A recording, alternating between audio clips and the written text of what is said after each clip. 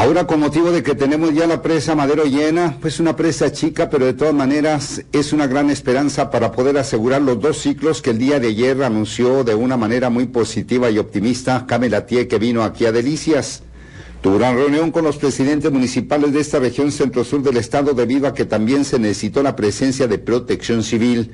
Esto por el derrame de las vírgenes que ocurrió anoche a las 21 horas con una lámina de 17 centímetros de grosor.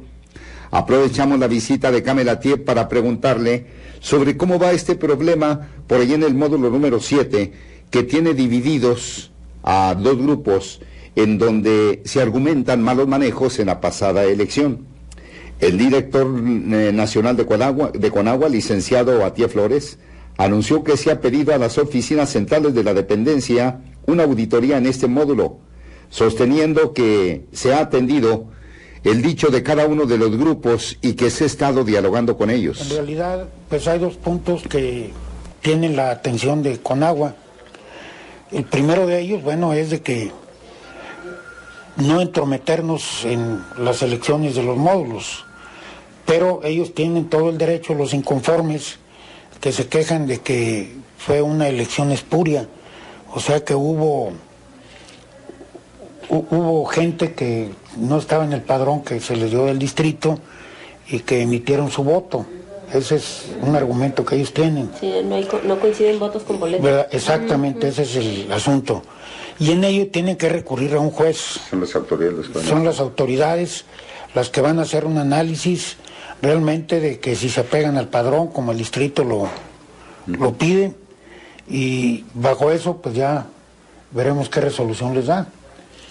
Y la otra es de una auditoría que exigen que se le haga a las autoridades salientes del módulo 7 y en eso nosotros ya estamos solicitando a la Ciudad de México, a la Conagua Nacional, de que inicien los trabajos de una auditoría para dicho módulo. En caso de que les asista la razón a los inconformes, ¿qué pasan? Eh, bueno, que les asista la razón a los inconformes, eh, bueno, la auditoría pues arrojará, suceda lo que suceda, arrojará sus resultados. Con respecto a la elección, pues es un juez el que tiene que determinar la validez, nosotros ahí no, no tenemos mayor problema. ¿No ha faltado diálogo en esto? De parte de la Conagua. Mira, entre ellos, yo me imagino que ha, pues, ha faltado armonía, ¿Mm?